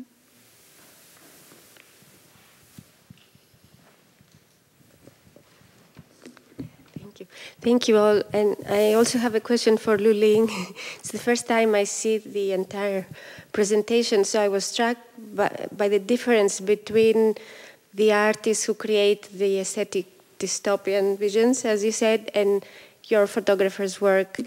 And I, I wonder, how, what do you think about the importance of the human figure in your photographer's work? Because it, it, the way I understand it, his work is very personal because of these unexpected human figures that populate the landscape, while the other artists abstract so much, uh, and therefore it's easier, I guess, for the government to co-opt those creations because they are very impersonal. so I, I, just wanted to hear your thoughts right. on this. Yeah, thank you. I think that's a really good observation because not being able to see human life in the figure allows it to look as if it's um, a mountain that could be from the 10th century, the 5th century, an abstracted mountain. And so while um, the works by the artists that I showed that have those dystopian renderings have tiny, tiny figures, they're always alone and isolated, but not positioned in such a way where with classical works you could um, read their positioning, their gaze, their placement as being symbolic of a certain internal condition. So I think the fact portraying a gathering of people having a relaxed and intimate conversation, I think that's for me where the political possibility lies because um, there's discourse, there's subversive use of space, there, but it's collective. And so I think in those other works, if you're a lone figure wandering, it feels very post apocalyptic. Like, are you the only one left? And would you even want to still be there then? yeah. So thank you. Thank you. Thank you for your presentations. Uh, I have two questions for Yiqing. Um, so uh, thank you so much for walking us through this super rich archival materials. And I think it's very clear that in the discourses of these materials, there is um, binaries between China and the West, the tradition, modern. Um, I wonder, in your opinions, um, this binary of China and West, tradition, modern, as theoretical framework um, is it still productive or not productive for us as art historians to look at modern Chinese art and visual culture? And um, and my second question actually is uh, following in the archival thing. Um, so due to the fact that the many early 20th century Chinese or, the or original Chinese paintings were lost or destroyed, um, do you see this as a challenge or opportunity or both for your dissertation project? That's very good questions. Uh, well, thank you for bringing up this dualist model between West and East, between tradition and modern. So um, I also think about this, this model um, during de developing this uh, dissertation. Well, it seems that there is a um, dualist model between between these two, um, the, the, regional dualism and this uh, dualism in terms of time periods. Um, but in terms of the specific works and the specific thoughts of each individual artist, and this dualism uh, to me it seems hard to stand the water because um, this, uh, since the, their artworks were not uh, did not survive today, but I can uh, analyze some works created later by these artists. For example, Lin Fengmian, the, the leader of the society, um, in, in his later works, he combined the the art of lines that was emphasized in a, a kind of traditional uh, expression of Chinese painting. Chinese painters always pay much attention to the lines. And the cubist um, way of constructing uh, plastic, uh, so-called plastic uh, reality. So this combination, we can see this um, it is uh, extreme uh, dualism or more kind of uh, integration after absorbing these two two kinds of thing, two, two, two cultures. And also in the early 19, in the early 20th century, um, Chen Hengke already uh, think about this, this issue. And he thinks the modernist painting shares some similarities with Chinese classical painting um, in terms of their spiritual pursuits. And so I think uh, in order to respond this dualist model, I need to specify specify into some works and times. Um, in terms of the when we when it comes to 1980s, this um, dualist model was um, furthermore blurred. Um, and your second question is the the absence of these actual paintings were were destroyed. It is a, a challenge or opportunity for us. I think yes, both.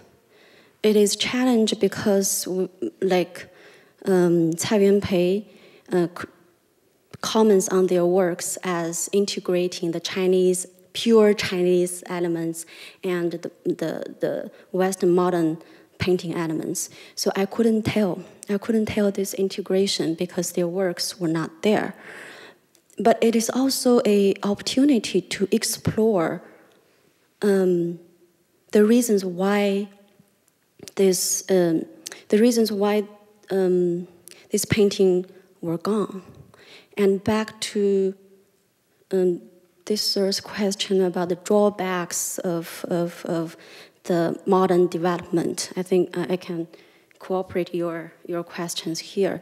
It's always, um, we always confronted, confronted with an issue of belated, belatedness, which means that the Western modern arts um, developed since, uh, since the 1870, since the, uh, around the middle of 19th century, right? That the first impressionist painting was created in 1872, right?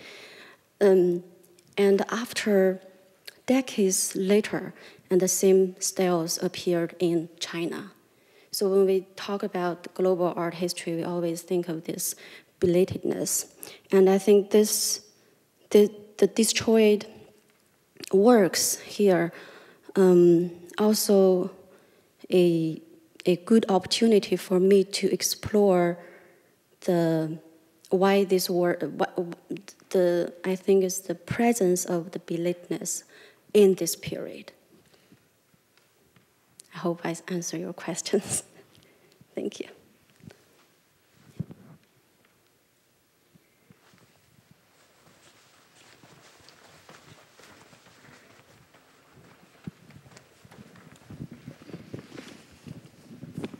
Hi, I have two questions, one for Yiqing, another for uh, LuLing, and say hi to Camilla.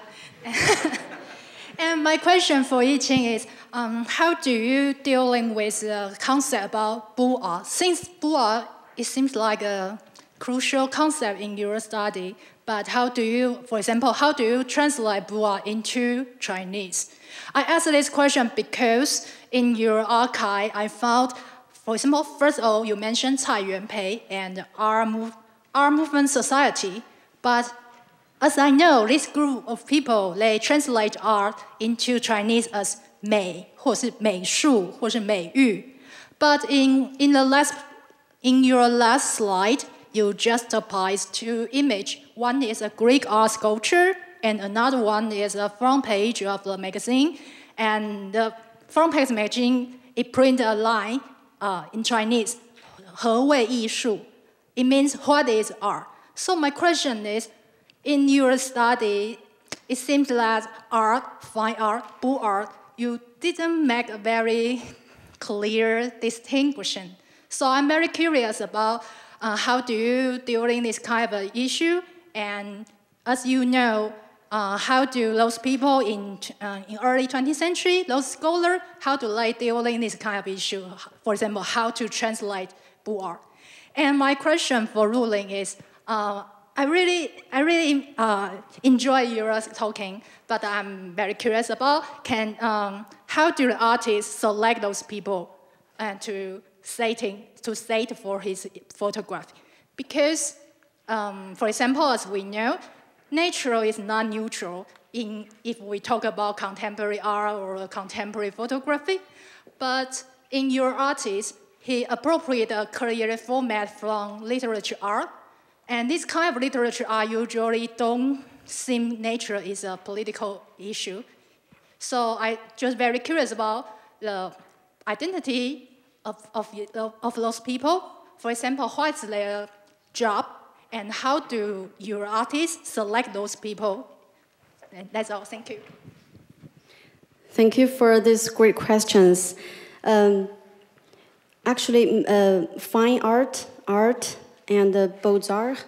Um, I understand Beaux-Arts or fine arts is more, um, um, my understanding of these two concepts were influenced by um, the avant-garde theories, uh, which articulate the fine art as individualist experiments. It's, it has an avant-garde um, gesture of um, keep a distance from the society or keep a gesture of rebelling against the society. Um, so the, the arts, uh, like you put forward the Hewei Yishu, what is arts? So in this, uh, this book is written by uh, uh Lin Wenzheng.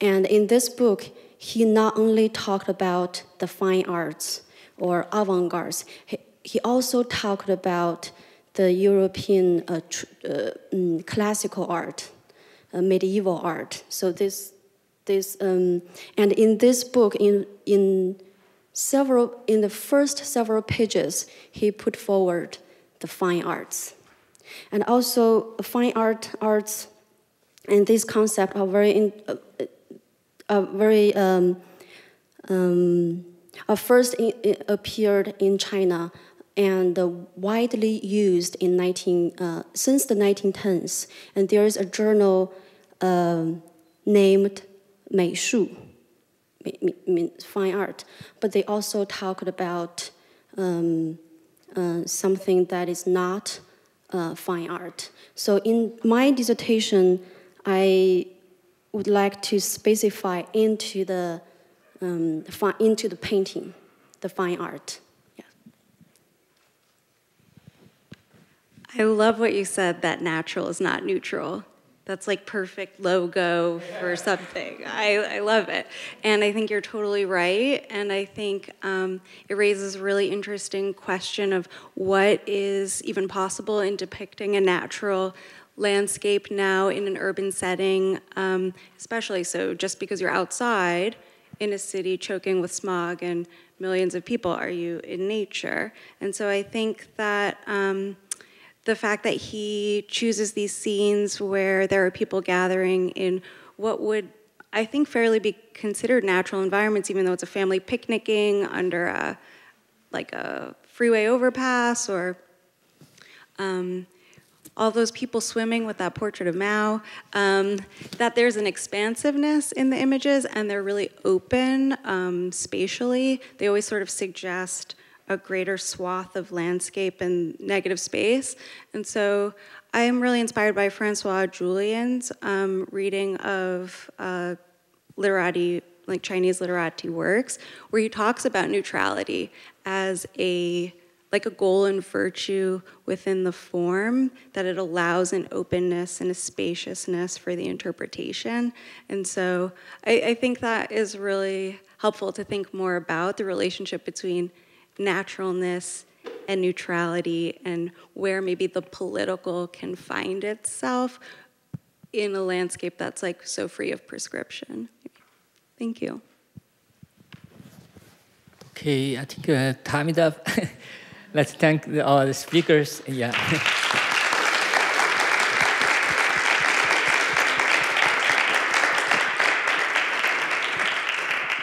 thank you very much to our speakers, our faculty advisors, our moderators, and our audience for coming together today to help us uh, host and hold and celebrate our inaugural Getty Graduate Symposium. I hope to see you all back here next year for the second annual. But in the meantime, please join us outside for a reception to celebrate a, a productive day of really generative conversations. Thank you.